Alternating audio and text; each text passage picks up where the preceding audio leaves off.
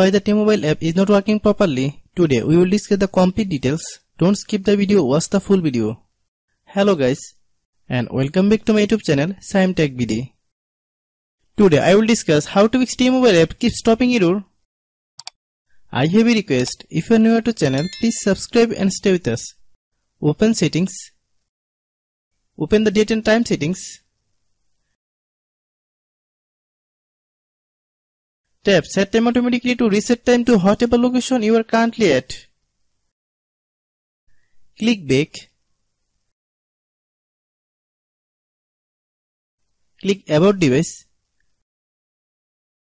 Click storage. Then click clean up.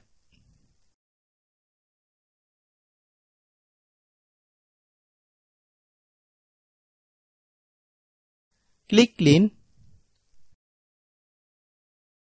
Click back.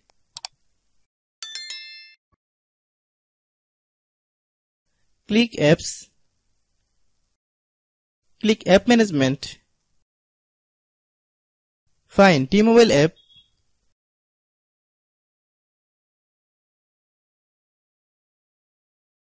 Click T-Mobile app. Click storage use. Click clear cache. Then click clear data. If you clear data, you will need to relog into your account.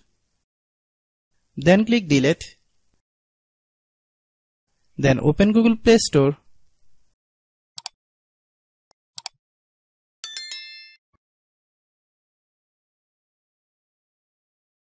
Then search T-Mobile app.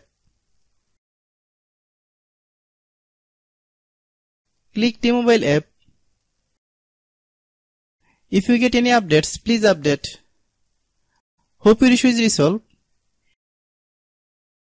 If anyone still has problem, it might be a server problem. Please try again after a while. Hope you understand. I have a request. If you are new to channel, please subscribe and stay with us. By watching my tutorial for more tech videos, you can subscribe.